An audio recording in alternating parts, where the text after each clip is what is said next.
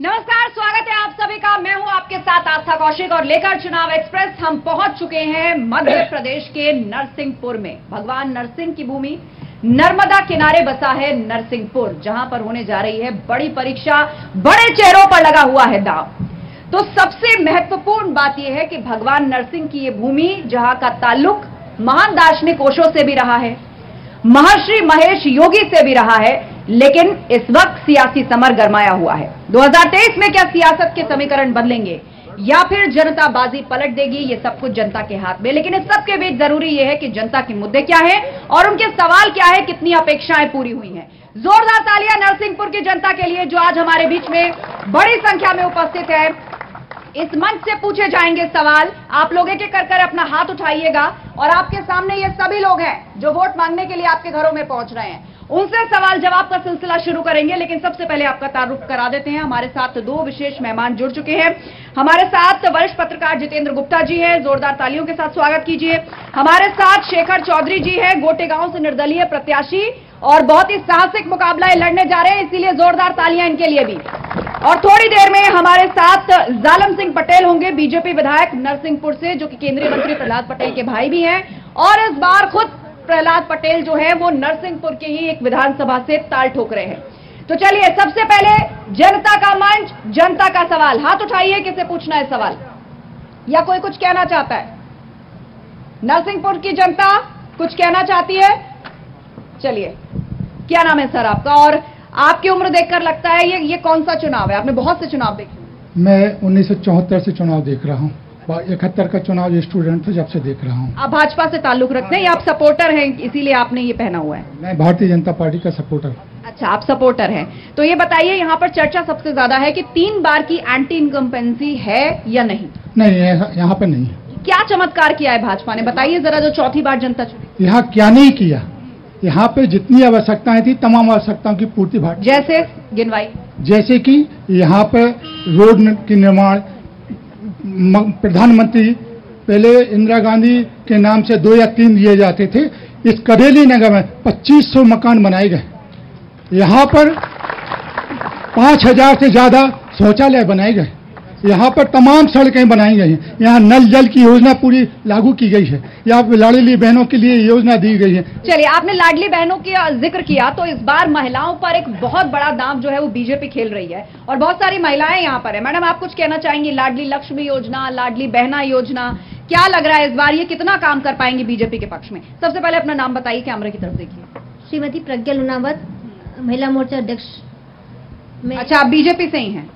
बताइए। क्या चमत्कार कर दिया आप लोगों ने जनता बहुत हमारे मुख्यमंत्री बहुत ऐसी योजनाओं को लेके आए और बहनों को दे भी रहे और बहनें इसका लाभ उठा रही है और इतने मकान सब चीज़ें महिला यहाँ की जनता बहुत खुश है उस चीज़ से। चलिए महिला बहुत खुश है जनता बहुत खुश है ये दावा बीजेपी कर रही है। लेकिन चलिए अब हम रुक करेंगे हमारे साथ निर्दलीय प्रत्याशी हैं जो इस बार चुनावी मैदान में आप जानते ना कितने बड़े चेहरों पर दाम यहाँ बीजेपी ने खेला है केंद्रीय मंत्री को उतार दिया है। जी। केंद्रीय मंत्री नरसिंहपुर से विधानसभा के उम्मीदवार हैं। और मैं तो गोटे गाँव से निर्दलीय प्रत्याशी आप क्या सोचकर मैदान में आए? कितना कड़ा मुकाबला देख पाएँगे? लोग तो बस यही जानते हैं मध्य प्रदेश में बस दो ही पार्टियाँ जिनके बीच मुकाबला एक बीजेपी दूसरी कांग्रेस। समाजवादी पार्टी का थोड़ा ज़िक्र हुआ थोड़ा आम आदमी पार्टी का ज़िक्र हुआ लेकिन इनको वोट कटवा बोल दिया। आप किसके वोट काट रहे हैं? नहीं वोट कटवा वाली बात नहीं है। देखिए ऐसा है कि मैं निर्दलीय के प्रत्याशी के रूप में गोटे गाँव से लड़ रहा हूँ और ये चुनाव शेखर चौधरी नहीं गोटे गाँव की एक एक जनता लड़ रही है। ये चुनाव में मेरे को अच्छा, कौन है आपके वोटर मुझे बताइए। उन्होंने तो कह दिया महिलाएँ बीजेपी को वोट देंगी। एक बुज़ुर्ग थे हमारे बीच में उन्होंने कहा मैंने तो कितने चुनाव देख लिए लेकिन जो बीजेपी ने किया वो किसी ने नहीं किया। आपका वोटर कौन है? जो इनके वोटर है वो भी मेरे वोटर है। कैसे कह रहे हैं आप? किस बिना पर कह रहे हैं? मैं यही तो जानना चाह रही हूँ। मैं उन्हीं के विश्वास के साथ चुनाव लड़ रहा हूँ ना। उन्होंने आश्वासन दिया है ऐसा तो नहीं है किसी के हज़ार डेढ़ हज़ार दो हज़ार वोट काट दीजिएगा। इतने ही मार्जिन से मान लीजिए कोई मुकाबला जीत रहा हो तो वो हार जाए। नहीं नहीं नहीं ये चुनाव का परिणाम आपको बताएगा कि मेरे साथ कौन सा वोटर है और कौन सा वोटर नहीं है। अच्छा क्या वादा आपने किया है? मैनिफेस्टो होता है ना सबका एक। आपने देखा है कांग्रेस किस तरह के वादे कर रही है? कौन से मुद्दे उठा रही है? बीजेपी कौन सी योजनाएँ चला रही है? आप क्या करें? देखिए ऐसा है ये हमारा नरसिंहपुर जिला कृषि बाहुल क्षेत्र है। यहाँ पर किसानों के लिए बहुत कुछ किया जा सकता है। जैसे नरसिंहपुर ज़िले में जो शुगर फैक्ट्रीज हैं वो निजी मालिकों की है। हमारे कॉन्सेप्ट में है कि हम अपने कोटे गाँव में एक शुगर मिल जो कोऑपरेटिव सोसाइटी की होगी जिसको किसानों का सीधा लाभ कोऑपरेटिव के माध्यम से मिलेगा एक तो आप किसानों का मुद्दा उठाएँगे। और इस बीच हमारे साथ जालम सिंह पटेल जी आ गए हैं। माफ़ कीजिए। बंटी सलूजा जी, बीजेपी का पक्ष रखने के लिए जोरदार तालियाँ आपके लिए हो जाएँ। तो बंटी जी, यहाँ पर बात चल रही है, अभी हमने जनता से भी बात की और निर्दलीय प्रत्याशी से बात की। उनका यह कहना है कि बीजेपी अब जाने वाली है, कांग्रेस की सरकार आने वाली है। बड़े बड़े वादे किए जा रहे हैं, राम मंदिर का ज़िक्र किया जा रहा है, रावण, अहिरावण, सबकी एंट्री हो चुकी है। सबसे पहले तो आपको बहुत बहुत धन्यवाद, नरसिंहपुर की जनता की ओर से, नरसिंहपुर विधानसभा की ओर से आपका मैं स्वागत करता हूँ। जैसे कि बात की गई कि बीजेपी जाने वाली है। 2003 से भारतीय जनता पार्टी मध्य प्रदेश में आई उससे पहले लोगों ने उन्नीस से लेकर 2003 तक मिस्टर भंटाधार जिस मुख्यमंत्री को कहते थे उसका शासन देखा। 2003 में जब हम सरकार में आए तो 2003 से लेकर 8 तक जो हमने विकास के काम किए उसके आधार पर 2008 में हमें फिर बहुमत मिला और हमारी बहुमत नहीं लेकिन इसी इसी को लोग कह रहे हैं कि ये जो तीन बार की एंटी इनकम्बेंसी है है आप तो इनकार कर रहे हैं लेकिन इसको कांग्रेस बड़ी वजह मान रही है।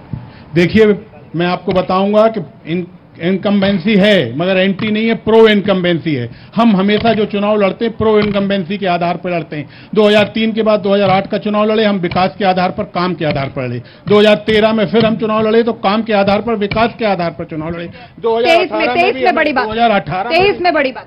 तेईस में भी हम विकास किया जो हमने काम किए हैं आज आपने देखा कि 2018 और 23 के बीच में दो साल का कोरोना काल कितना त्राही आई।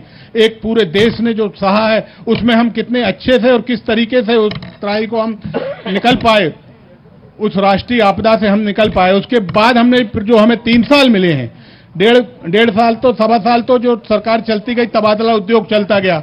उसके बाद हमें दो साल लग गए इस तबाही से निकलने के लिए जो आपदा आई थी उसके बाद जो चलिए बहुत सारे काम आपने गिनवाए मैं और विस्तार से जानूँगी लेकिन जनता कोई सवाल पूछना चाहती है। हाथ उठाइए।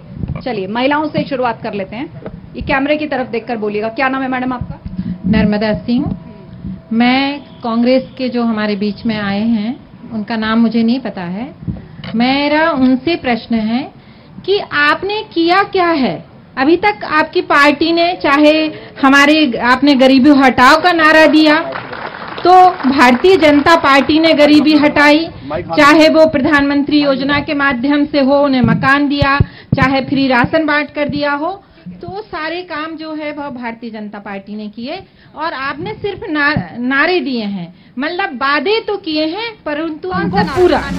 मैडम माइक मैं दूँगी आपको। कौन सा नारा आप कह रही हैं कि नारा दिया है काम नहीं किया? गरीबो हटाओ का नारा दिया परंतु भारतीय जनता पार्टी ने गरीबी हटाई।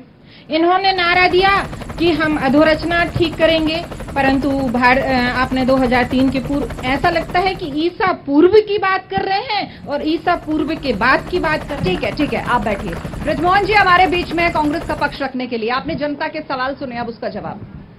मैडम ने अभी बड़ा अच्छा सवाल किया कि कांग्रेस ने गरीबी गरीबी हटाओ का नारा दिया और उसके बाद कुछ नहीं किया। सत्तर सालों में पता नहीं कितने करोड़ लोगों को गरीबी रेखा से बाहर निकाला है जिस देश में सुई भी नहीं बनती थी उसमें प्लान और सारी सारी चीज़ों का निर्माण कांग्रेस ने करवाया है आईआईटी आईआईएम सारे रक्षा संस्थान सारे औद्योगिक संस्थान पूरे देश के देश को विकास के पथ पर लेके आई है कांग्रेस। लेकिन ये तो भूतकाल की बात रही। हम 2023 में हैं। थोड़ा व्यवहारिक होकर बात करें तो अब आप बताइए। आगे आ, आगे के लिए गरीब गरीबी गरीबी गरीबी गरीबी कल्याण के लिए अनेक योजनाओं की घोषणा हमारे घोषणा पत्र में की गई है। अभी आप कौन से मुद्दे खड़े कर रहे हैं? बीजेपी सरकार के है? अभी पंद्रह सौ रुपये महीने हर महिला को हर एक महिला को इन्होंने केवल एक महिला को पंद्रह सौ रुपये दिया परिवार का। हम परिवार की हर महीना के हर महिला के लिए पंद्रह सौ रुपये हर महीने दिएँगे और हर हर हर नौजवान के लिए रोज़गार रोज़गार की घोषणा है हमारी तरफ़ से। हर स्कूल में पढ़ रहे लोक लुभावन वादे सब तरफ़ से हैं और जनता के बीच में से जरा शोर काफ़ी तेज हुआ है। कुछ पूछना चाहते हैं आप? आप बोल चुके ठीक है आप आइए। आगे आ जाइए भाई साहब आप। आइए इधर आइए। क्या नाम है आपका? सिद्धार्थ जी किससे सवाल है और क्या सवाल पूछना चाहते हैं? मैम मेरा मेरा सवाल ये है कि यहाँ पर निर्दलीय प्रत्याशी भी मौजूद हैं कांग्रेस के प्रत्याशी भी मौजूद हैं भारतीय जनता पार्टी के प्रत्याशी भी मौजूद है और वरिष्ठ पत्रकार भी मौजूद है। आप सब अतिथियों का स्वागत है। मैम मेरा सवाल इनसे ये है चारों से कि लाडली बहना योजना जो शिवराज सिंह चौहान ने आखिरी में चौका मारा उसके पहले योजना थी नो डाउट पहले भी थी लड़कियों के लिए। हाँ लेकिन अभी जो इन्होंने चौका मारा है उससे क्या निर्दलीय प्रत्याशी शेखर चौधरी जनता के बीच में कैसे जाएँगे महिलाओं के बीच? कांग्रेस किस मुँह से जाएगी? और भाजपा मतलब आपको, आप ही कहना चाहते हैं कि इतने बड़े मास्टर स्ट्रोक का सामना बाकी पार्टियाँ कैसे करेंगी? ठीक है, ये पूछ लेते हमारे बीच में, बताइए। इसको मास्टर स्ट्रोक बोला जा रहा है और कहा जा रहा है कि इसका कोई तोड़ है क्या आपके पास? हमारे भाई पत्रकार हैं सिद्धार्थ विचुरिया जी उनका सवाल बे- सवाल बेसिक रूप से जायज़ है लेकिन हमने पहले से घोषणा कर रखी कि हर महिला को पंद्रह सौ रुपए हर महीने दिया जाएगा। इन्होंने परिवार की एक महिला के लिए पंद्रह सौ रुपए देना चालू किया है। हम हर महिला के लिए पंद्रह सौ रुपए हर तो बताइए इसका क्या जवाब है? वो कह रहे हैं हम तो हर महिला को पंद्रह पंद्रह सौ रुपए देंगे। मतलब एक परिवार के अंदर तीन महिलाएँ हैं तो अब आप समझ लीजिए कि पाँच हज़ार साढ़े चार हज़ार ये तो ये मेरे कांग्रेसी भाई शायद बड़ी खुशफहमी में गलत फहमी है इनको। हमारे यहाँ भी जो है अभी जो योजना है वो 21 वर्ष से लेके हर महिला को चाहे परिवार में तीन बेटियाँ हैं बहुएँ हैं यदि सास भी 60 वर्ष से कम है तो अगर 60 वर्ष से अधिक है तो उन्हें वृद्धावस्था पेंशन हर परिवार में पाँच पाँच छह छह पेंशन मतलब चाहे आपका ये कहना है कि किसी ना किसी योजना के माध्यम से पहले से ही परिवार में हर महिला, हर महिला, को- पेंशन या कोई किसी तरह का फंड या निधि है। अगर अगर अगर भाजपा के हमारे मित्र की बात सही है तो पूरे पूरे मध्य प्रदेश की आबादी सात करोड़ है। महिलाएँ साढ़े तीन करोड़ हैं। एक करोड़ बीस लाख महिलाओं की बात कर रहे हैं ये। वो कह रहे हैं हर महिला के लिए हमारी ये योजना है। आप खुद ही आपका आपका हमला आपके सामने ही है। अब क्या है आंकड़ों की बाजीगरी झूठ बोल के सत्ता हासिल करना ये भारतीय जनता पार्टी का प्रोपागेंडा है। जनता से ले लेते हैं। महिलाओं को लेकर क्योंकि बहस छिड़ी है और महिलाओं की तरफ़ से ही हाथ उठ रहे हैं। चलिए इनसे पूछ लेते हैं। क्या नाम है मैडम आपका? स्मृति जैन है। मैं महिला मोर्चा प्रभारी हूँ भाजपा। अच्छा भाजपा की कार्यकर्ता हैं। मैं आपसे ये पूछना चाहती हूँ कि जो कहा वो करके दिखाया रामलला का मंदिर बनाया बहनों की लाज की की रक्षा बाह सोच से मुक्त कराया जन्नी को दी सुरक्षा बेटी का मान बढ़ाया जी ट्वेंटी की अध्यक्षता करके विश्व में परचम लहराया सैनिकों के दिल अब सीमाओं पर ज़ोर से धड़कते हैं अब बम की आवाजों से कान नहीं डरते हैं हर महिला आपने बोला कि सिर्फ़ डेढ़ करोड़ महिलाओं के लिए हमने सुरक्षा दी है तो मैं आपको बता दूँ अकेली लाडली बहना योजना नहीं है जननी सुरक्षा योजना सिलेंडर के लिए योजना लक्ष्मी योजना लाली लक्ष्मी योजना सुकन्या योजना। ठीक है आपने झड़ी लगा दी मुद्दों की उसमें बहुत से नेशनल मुद्दे थे।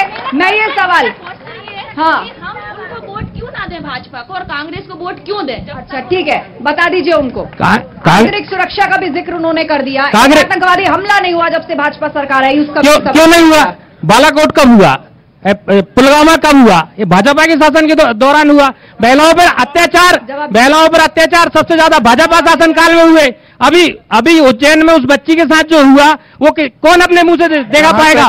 जो जो मणिपुर में हो रहा है महिला महिला महिला महिलाओं को क्या किया जा रहा है मणिपुर में? आपने सबने वीडियो देखा है। उसके बाद महिला सुरक्षा की बात आप कैसे कर घर सकते में हैं? जाकर आज भी आपको- आप देख रहे होंगे आज भी मेरे सवाल मेरे से था। आप देख सवाल मेरे से था। कि रोज खबरें आ रही है। रोज खबरें आ रही है सवाल मेरे में से- आतंकवादी मारा गया? पाकिस्तान में आतंकवादी मारा गया? मार के चला गया? आज कनाडा में तक आतंकवादी कहाँ। आतंकवादी? कहाँ मारा गया? कहाँ मारा गया? कनाडा मारा गया? कुछ भी देश के खिलाफ जो भी आवाज़ उठेगी उस आवाज़ को कुचला जाएगा। आप देश अगर देश के गलत फहमी में देश के खिलाफ अगर आवाज़ को कुचला नहीं जाता तो सत्तर साल से देश आज़ाद नहीं होता। देश में संविधान की रक्षा नहीं हो पाती। आपने देश में संविधान सत्तर साल संविधान के से खिलाफ काम करने वाले लोग ऐसी बात कर सकते हैं। कुछ नहीं दिया। संविधान संविधान के खिलाफ काम करने वाले लोग ऐसी बातें कर सकते हैं। आतंकवाद के खिलाफ नहीं किया होता तो पंजाब समस्या का हल नहीं हुआ होता। आतंकवाद- आतंकवाद के खिलाफ नहीं किया होता पंजाब समस्या का हल नहीं हुआ। क्षेत्र की बात करिए। कमलनाथ की देन है पंजाब समस्या। क्या समस्या है? क्या समस्या है ये बताइए पूछिए सवाल क्षेत्र। देश आज़ाद हुए सत्तर साल के ऊपर हो गए। वो सब ठीक है आप अपना सवाल पूछिए क्षेत्र मेरा सवाल ये है अठारह साल से भारतीय जनता पार्टी की सरकार मध्य प्रदेश में काबिज है। तो पहला तो सत्ता पक्ष के लोगों को सिर्फ़ सुनना चाहिए मेरा हाथ जोड़ के उनसे प्रार्थना है। आप सवाल पूछिए सर सवाल सवाल ये है मैं सबसे पहले नरसिंहपुर विधानसभा क्षेत्र की बात करूँगा ज़िले में। तो यहाँ पे सिविल कोर्ट नहीं है। कई बार मुख्यमंत्री जी घोषणा कर गए फिर बात आई जगह की तो पराला गल्ला मंडी करेली में खाली पड़ी है करोड़ों की उसके में जायदाद बिल्डिंग भवन और गोदाम। ठीक है ये सारे सवाल मैं लेकर जाती हूँ बीजेपी के पास। बताइए वो कह रहे हैं कि सीएम के आने के बाद अनाउंस होने के बाद भी यहाँ पर ये काम क्यों नहीं सीएम साहब ने सिविल कोर्ट की घोषणा की थी मगर जगह की समस्या को लेकर सीएम कोर्ट सिविल कोर्ट की स्थापना नहीं हो पाई है। शीघ्र सिविल कोर्ट की स्थापना करेली में होगी। ये हम वादा करते हैं आपसे कि शीघ्र सिविल कोर्ट की स्थापना करेली में होगी। कर रहे हैं। अठारह साल से अठारह साल से वादों पर कब तक भरोसा करें? ठीक है यहाँ पर वादा वही करते हैं जो निभाना जानते हैं। सरकार भी हमारे लाखों घोषणाएँ अधूरी है लाखों अधूरी नहीं। अलावा हमारे साथ इस शो पर एक कवि भी है। कवि भी हैं वो भी अपने कटाक्ष करेंगे वो भी अपने व्यंगों से जुड़े सवाल पूछेंगे लेकिन एक वरिष्ठ पत्रकार होने के नाते सर आप इस परिस्थिति को कैसे देख रहे हैं? मध्य प्रदेश के अंदर बीजेपी कांग्रेस अभी तक के जो सर्वे सामने आए हैं कहीं कांटे की टक्कर दिखा रहे हैं तो कहीं कहीं कांग्रेस को बढ़त भी दिखा दी गई है। जी सब सबसे पहले आपको धन्यवाद। जनता के मुद्दों की बात करें तो दोनों ही पार्टियाँ जो हैं मुफ़्त की रेवड़ियाँ के सब्ज जनता को दिखा रही हैं जिसके आधार पर वह वोट मांग रही हैं। मूल बात यदि आप अपन बात करें इस करेली शहर की तो 43 साल पहले करेली तहसील बनी। इन 43 सालों में 22 साल कांग्रेस का शासन रहा। उसके बाद अभी 21 साल पटवा जी के शासन को जोड़ दें तो जी। यहाँ पे कार्य हुए तो मैं बता रहा हूँ वही आपको। पिछले तैतालीस। तैतालीस सालों पहले करेली को तहसील बनाया गया। उसके बाद यह इकलौती मेरे ख्याल से तहसील होगी। पूरे प्रदेश में जहाँ पर एक भी सरकारी कॉलेज नहीं है सिविल कोर्ट नहीं है आईटीआई नहीं है। इसके अलावा ठीक है ये बातें जाएँगी बीजेपी के पास लेकिन उससे पहले हमारे बीच में कवि भी हैं कहते हैं कि जब कवि बोलता है तो वो किसी को नहीं बख्शता। उसकी पंक्तियाँ उसके सवाल उसके शब्द हर किसी को भेजते हैं। सर क्या नाम है आप मेरा नाम गुरु सक्सेना शान नरसिंहपुरी। सांड नरसिंहपुरी। अरे नाम तो आपने बड़ा भयावह रख दिया। मैं मेरी गुजारिश है आप थोड़ा आइए ताकि सब लोग आपको देख पाए। थोड़ा सा आगे आ जाइए। हाँ सब लोग देख पाए। अच्छा आप सुन रहे हैं पूरी डिबेट को। यहाँ सारे मुद्दों की बात हो रही है मध्य प्रदेश की सियासत की बात हो रही है। आप पंक्तियों में बताइए आपका क्या आंकलन है? नहीं तो आप क्या मतलब हम क्या बताएँ? जैसा कहें हम वैसा बता दें। बिल्कुल बताइए आप। नहीं जनता के लिए कैमरे की तरफ़ देख के कैमरे की जनता की तरफ़ से बताएँ। जनता की तरफ़ से बताइए दिल दिल से बोलिए। जन नहीं दिलाइते यहाँ कौन सा डर पड़ा है? हमें बहुत शानदार। हम किसी पार्टी के तो है नहीं। मतलब क्या होता है कि सांड पे बहुत से ऐसे छूटते हैं कि त्रिशूल लग जाता है। तो वो घोषित हो जाते हैं। अपन पे कोई त्रिशूल लगा नहीं। चलिए भेदिए किसको भेजना है? हाँ मैं, नहीं मैं भेजे में किसी की तरफ़ नहीं मैं तो ये कहना चाहता हूँ जनता की तरफ़ से अपने सबके ऊपर कौन खरा कौन खोटा? Camera camera camera. कौन खरा कौन खोटा? माइक आप ही ले लीजिए। कौन थाली कौन लोटा? कौन खरा कौन खोटा कौन थाली कौन लोटा? छलनी ले, आज आटा चालना ज़रूरी है। अब इसमें कोई पार्टी वार्टी नहीं, भैया, आटो है तो चापर तो निकान नहीं पर है। सीधी तो खेहन। है चलनी ले, हाथ आटा चालना ज़रूरी है। माता पिता के समान जनता है, तंत्र हेतु। माता पिता के समान जनता है तंत्र हेतु। बच्चों जैसा संविधान पालना ज़रूरी है। कोई पार्टी वार्टी नहीं सब पार्टी हैं सब जनता तो सब है। बट अरे अभी दो लाइन और। अरे फालतू की बात तो बहुत सी हो रही थी। काम की तो हम कर रहे हैं ना। क्योंकि हम मांग नहीं रहे। माता पिता के समान बच्चों जैसा पालना ज... सत्ता, मूर्ति बनाने को गीली मिट्टी सामने है। समय सांचे में उसे ढालना ज़रूरी है। और 17 नवंबर को सारे काम छोड़कर मतदान हेतु वोट डालना ज़रूरी अभी के लिए काफ़ी है। मेरी रिक्वेस्ट है, आप सीट पर जाइए। मैं दोबारा आपके पास लौटूँगी। हमारे बीच में एक और युवा कवि आइए, युवाओं की आवाज़ भी सुनाते हैं। आइए मेरे साथ। बताइए दोनों पार्टी के मैनिफेस्टो यहाँ पे कंपटीशन है झड़ी लगाने का। हमने इसको दिया हमने महिलाओं को दिया हमने पर मंथ इतनी इनकम फिक्स कर दी महिलाओं के बहाने से योजनाओं के बहाने से। कोई कह रहा है महँगाई है बेरोजगारी आप क्या अर्ज़ करेंगे? भाजपा और कांग्रेस की बात है। दोनों पार्टियाँ अपनी अपनी बात करती है लेकिन जनता के हक में क्या आता है? हम्म। कि कोई इस पारे अच्छा है कोई उस पारे अच्छा है। कोई इस पारे अच्छा है कोई उस पारे अच्छा है। और बहस इस बात की है कौन अब की बार अच्छा है? और चुनावी युद्ध में चुनावी युद्ध में सबको यही साबित है करना बस कि अपना कमल अच्छा है कि अपना नाथ अच्छा है। चलिए जोरदार तालियाँ इनके लिए। जोरदार तालियाँ। तो चलिए ये तो रही कवियों की बात। अब बताइए कोई कह रहा है कि संविधान को बच्चों की तरह संभालना ज़रूरी है तो किसी ने पूछ लिया बताइए कमल अच्छा है कि कमलनाथ अच्छा है?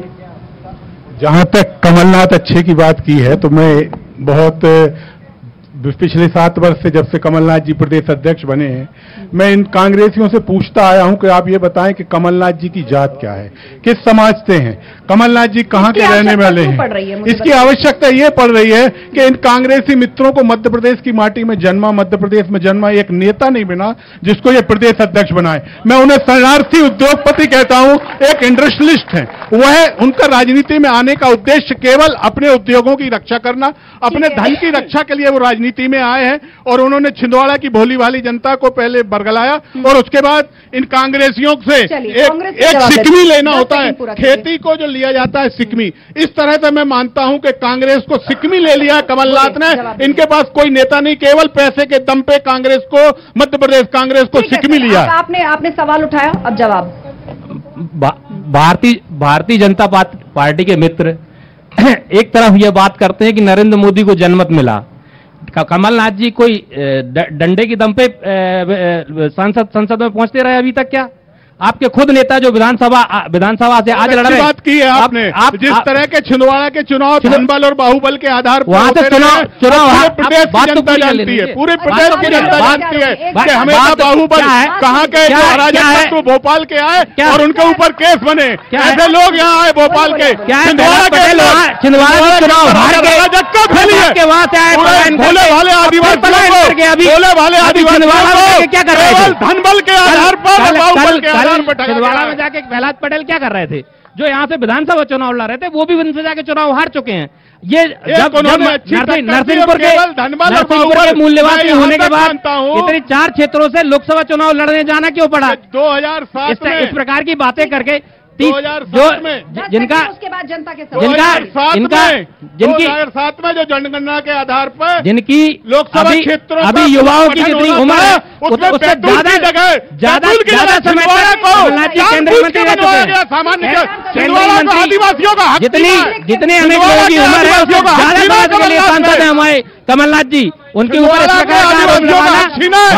मध्य प्रदेश की जनता का अपमान है। किससे सवाल है आपका और- छिंदवाड़ा के वोटरों का अपमान है कमलनाथ जी का। आदिवासियों का अपमान है। जिनने लगातार चालीस वर्षों से कमलनाथ जी को सांसद बनाया है। आपकी सरकार पंद्रह महीने थी। आपने रोज़गार के लिए क्या काम किए? क्या काम किया आप बता दीजिए चलिए जवाब ट्रांसफ़र उद्योग चला है 15 महीने में ट्रांसफ़र उद्योग। है कांग्रेस महँगाई की बात करती है तो युवा ने पूछ दिया बताइए पंद्रह महीने तक चार्ज आपके पास में था आपने क्या ट्रांसफ़र उद्योग चला 15 तो महीने में। आप देने दीजिए उनको अगर बोल बोलने ही नहीं देना तो फिर आपको बोलिए सर, मैं क्या है आपको। कमलनाथ जी ने बेरोजगारों के लिए बेरोजगारी भत्ता का प्रस्ताव विधानसभा में पास कराया रोज़गार रोज़गार के लिए रोज़गार के लिए अनेक अनेक भर्तियों की घोषणा की जो भर्तियाँ होने जा रही थी उसी के कारण धन धन बल से इनने सरकार गिरा दी उनकी पाँच साल होता है तो आप हम आपको रोज़गार की सवाल के हर हर सवाल का में। हर सवाल का जवाब देने तैयार थे। जो अपने वचन लेके आती है वचन लेके ही आई है। और वचन वचन पूरे किए हैं। इसीलिए सत्तर साल शासन किया देश कर पाई। आपके जैसे केवल बातें करके शासन नहीं किया। कांग्रेस। कांग्रेस ने मंच नहीं है जहाँ पर अपने अपने विधायकों को कांग्रेस ने कहा कि हमने बेरोजगारी भत्ते का इंतज़ाम किया। अब आप बताइए रोज़गार के मोर्चे पे बीजेपी सरकार क्या रख रही है रिपोर्ट कार्ड जनता के सामने? रोज़गार रोज़गार के मुद्दे रोज़गार के मुद्दे पे हमारे आदरणीय मुख्यमंत्री जी सीखो कमाओ योजना लेके आए हैं। इसके अंदर पटवारी घोटाला कर दिया रोज़गार के नाम पे। पटवारी घोटाला कर दिया। बच्चों बच्चों से बीस बीस लाख रुपए लेके पटवारी की भर्ती कर दी। और उसके बाद कोई कोर्ट ने हुआ, कोर्ट ने रोक तो- लगा दी उन पर। तो 15 कोर्ट महीने चलिए। मैं आप दोनों को रोकना चाहूँगी। मेरे पास लास्ट दो मिनट का समय बचा है। उसमें जितने ज़्यादा सवाल हो जाएँ जितनी ज़्यादा बात हो पाए नरसिंहपुर की उतना बेहतर। क्या नाम है आपका? सत्तू पंडा। बोलिए जल्दी क्या बोलना चाहते मैडम जी माई छोड़ी मैडम जी मैं पूछना चाहता हूँ कांग्रेस वालों से कि 55 साल आपने राज किया तो 55 साल में किसी ग्राम में एक कुटी आती थी, वो भी आदिवासियों या हरवाओं को दिया जाती थी। पचपन कुटी नहीं है, और भाजपा शासन में आदिवासियों को ढूंढ ढूंढ के कुटी दी जा रही है। एक ना बचे, और जी अगर प्रहलाद जी की बात करते हैं कि वो हार गए तो प्रहलाद जी कमलनाथ जी से पूछना कि अगर छंदवाड़ा छोड़ के कहीं से चुनाव लड़ लेना तो आपकी जमानत जब्त हो जाएगी। और दूसरी बात आप तो चुनावी भाषण देने लगे आपने आदिवासी जमानत जमानत जब्त तो नरसिंहपुर में होने जा रही है। प्रहलाद पटेल की जमानत जब्त होने जा रही नरसिंहपुर में। वोट बैंक बहुत अहम है। ये तो आपने चुनावी जवाब दिया उन्होंने आदिवासियों की बात। जी। आदिवासियों की बात की उस पर क्या जवाब? आदिवासी लगातार कांग्रेस के साथ में है सत्तर साल से। हमने उनके विकास के लिए अनेक योजनाएँ और अनेक अनेक यो, योजनाएँ बना के उसको क्रियान्वयन किया इसलिए उन्होंने कहा कि बीजेपी सरकार में ढूंढ ढूंढ के कुटी दी जा रही ढूंढ ढूंढ के कुटी दी जा रही होती तो अभी कुटिया सारे जगह नज़र आने लगी होती। एक दो मकान बनाने को कुटिया दिया क्या जवाब? हर जगह मकान नज़र आएँगे आप किसी भी ग्रामीण क्षेत्रों में जाएँगे जहाँ खप्पड़ के मकान हुआ करते खप्पड़ के मकान गाँव गाँव देख लीजिए। गाँव गाँव में जाकर देख लीजिए। इनसे पूछ रहे हैं इन्होंने जब पंद्रह महीने की सरकार थी संबल कार्ड बंद करवाए तीर्थ दर्शन योजना बंद करवाई। अब ये कोई बंद नहीं करवाई। तीर्थ दर्शन योजना आज भी चालू है। तीर्थ दर्शन तीर्थ दर्शन योजना आज भी चालू है। कमलनाथ जी के शासन में भी चालू थी। झूठ बोलना इनका झूठ बोलना इनका कोई काम है। झूठ बोलना इनका है। महीने में सारी योजनाएँ बंद कर दी गई। इनके विधानसभा उम्मीदवार महीने में एक दिन की बात करते हैं। करोड़ इनके विधानसभा उम्मीदवार महीने में एक दिन काम करने की बात करते राहुल हैं। गांधी के बंगले पे पहुँचाए गए साढ़े तीन सौ करोड़ रुपया। सेकंड मेरे पास ये रतुलपुरी के बारे में बताया इनके विधानसभा उम्मीदवार महीने में एक दिन काम करने की बात करते हैं। केवल चलिए और इस बीच में हमारे साथ नरसिंहपुर विधायक भी पहुँच चुके हैं। केंद्रीय मंत्री प्रहलाद पटेल के भाई है। बहुत स्वागत है आपका न्यूज़ एटीन इंतज़ार तो हम कर रहे थे कि आप शो में आइए। शो खत्म हुआ, लेकिन फिर भी आप आए। लेकिन मैं चाहती हूँ जाते जाते जनता को आप बता करके जाइए। इस सवाल का जवाब मांग रहे हैं कि केंद्रीय मंत्री को विधानसभा का चुनाव लड़ाना, क्या बीजेपी दिक्कत हो रही है क्या? ये क्या रणनीति है? और पाँच साल का रिपोर्ट कार्ड आप कैसे रखेंगे जनता के सामने? मैं भारतीय जनता पार्टी के केंद्रीय नेतृत्व का धन्यवाद करता हूँ। कि उन्हें भारतीय जनता पार्टी ने आठ लोकसभा चुनाव, उनको चार लोकसभा क्षेत्र से चुनाव लड़ाए। और इस बार उनको भारतीय जनता पार्टी की विधानसभा का पहली बार उनको प्रत्याशी बनाया है। और मैं संबंध भाजपा हम भूमिकाएँ बनाती रहती और देती रहती है। और जहाँ तक विधानसभा में विकास के कार्य है तो मैं कहता हूँ, एक खरब बत्तीस अरब चौवन करोड़ बयालीस लाख पंद्रह हज़ार के काम हमारे विधानसभा क्षेत्र में हुए हैं और जितने हमारे काम हुए हैं, कांग्रेस के जो प्रत्याशी उतने कितने शून्य हुआ अभी तक मैं बार बार का उतने शून्य नहीं बता पा रहे काम करना तो ठीक है। पचपन साल तक उनकी कांग्रेस सरकार रही 2003 के पहले। वो बताएँ, जो बताना चाहिए, मगर वो बताने के लिए नहीं है। आपने पूछा, इसलिए मैंने अपनी जानकारी दी। अब ये बताइए कि महिलाओं के लिए लाडली लक्ष्मी योजना और लाडली बहना योजना, महिला रिजर्वेशन बिल, एक बड़ा दाव बीजेपी महिलाओं को लेकर चल रही है, लेकिन कांग्रेस वहाँ पर भी ओबीसी का मुद्दा खड़ा कर रही है। मेरा मानना है कि जो कांग्रेस इंडी बनाए हैं, गठबंधन है, और आप सबने देखो बिहार के जो मुख्यमंत्री हैं, उतनी उन्होंने कितनी भद्दी और गंदी टिप्पणी विधानसभा के अंदर की है, जिसकी हम निंदा भी, उसको तो ऐसा है कि जो उन्होंने बात करी है, वो बहुत निंदनीय है। और हमारा इस देश का इतिहास, ये देश एक हज़ार साल तक गुलाम रहा है। और उसके पहले की अगर बात करें तो महिलाओं का स्थान सर्वोच्च रहा है। हम सीता माता सीताराम कहते हैं राधे श्याम कहते हैं गौरी शंकर कहते हैं, या या राजा आज़ादी में भी हम दुर्गावती जी की बात करें, लक्ष्मीबाई जी की बात करें अवंती बाई जी की बात करें तो ये हमारा महिला प्रधान व्यवस्था हमारी है देश की है। आपने सीता जी का नाम लिया तो राम मंदिर का भी ज़िक्र हो रहा है लेकिन कांग्रेस कह रही है कि आपने राजनीतिकीकरण किया राम के नाम पर वोट मांगे। मंदिर तो सुप्रीम कोर्ट के कहने से बना। 500 साल तक ये एक आंदोलन चला और इन 500 साल की अगर बात कर 55 साल तक तो कांग्रेस की सरकार नहीं। वो मंदिर पहले भी बन सकता था मगर देश के प्रधानमंत्री सम्मान नरेंद्र मोदी जी और आज हमारे ज़िले में और इस विधानसभा में योगी जी आए। उनका मैं हृदय से स्वागत बंदन अभिनंदन करता उनको प्रणाम करता हूँ कि 22 जनवरी को रामलला वहाँ विराजमान हो जाएँगे वो टेंट में थे। छोटी मोटी घटना बड़ी एक हमारे जो हम लोगों ने कभी जो इसके पहले और अब जाते जाते मैं चाहूँगी कि आप दो बातें बताइए कि बीजेपी को वोट क्यों दे जनता? फिर हमें डिबेट क्लोज करनी है। बीजेपी को इसलिए वोट देना कि अंत्योदय का हमारा विचार है। बिना भेदभाव के प्रत्येक व्यक्ति को क्या वो भाजपा का हो, कांग्रेस का हो, किसी दल का हो, किसी जाति का हो, सबको हमने लाभ दिया बिना भेदभाव मगर कांग्रेस ने भेदभाव किया जी अंतर। बहुत शुभकामनाएँ आप सभी को आने वाले चुनाव के लिए और बहुत धन्यवाद आप न्यूज़ 18 के मंच पर आए। तो आज चुनाव एक्सप्रेस में बस इतना ही। जनता ने अपने मुद्दे रख दिए हैं, अपनी बात कह दी है। जनता जनार्दन सर्वोच्च है और वो ही फैसला करेगी सभी उम्मीदवारों की किस्मत में क्या लिखेगी जनता के हाथ में। तो आज चुनाव एक्सप्रेस में इतना ही। कल मुलाकात होगी रात आठ बजे छिंदवाड़ा से। पहुंचेगी चुनाव एक्सप्रेस। आप भी आइए और इस मंच से अपनी बात रखिए। बहुत धन्यवाद।